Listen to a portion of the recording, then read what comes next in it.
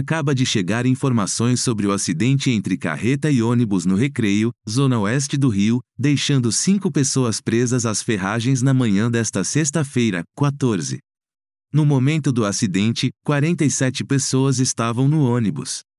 Informações do Corpo de Bombeiros: uma das vítimas está em estado grave, precisou ser resgatada por um helicóptero e foi levada para o Hospital Municipal Miguel Couto.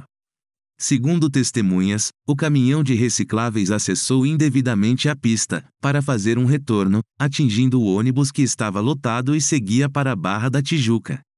O acidente foi na altura do Pontal, na Avenida das Américas, logo depois do túnel Grota Funda. O ônibus, diretão, que liga a região de Campo Grande e Santa Cruz ao terminal Alvorada, estava cheio e ia em direção à Barra da Tijuca. O acidente ocorreu em um retorno da Avenida das Américas, na altura de um retorno. Em função do acidente, a Avenida das Américas, sentido Barra da Tijuca, tem trânsito lento e apenas uma pista em funcionamento. A CET Rio informa que os sinais de trânsito estavam funcionando normalmente. Se obtivermos mais informações, voltaremos a qualquer momento.